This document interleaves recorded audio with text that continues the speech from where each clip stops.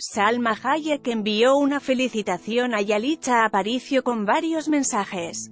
Resulta que la actriz etiquetó en su Instagram a Yalitza, puso las fotografías de ambas y destacó que ella fue la primera mexicana nominada al Oscar en la categoría Mejor Actriz. En el 2002 me convertí en la primera actriz mexicana en obtener una nominación al Oscar en la categoría de Mejor Actriz. Me emociona mucho saber que a partir de hoy no estoy sola.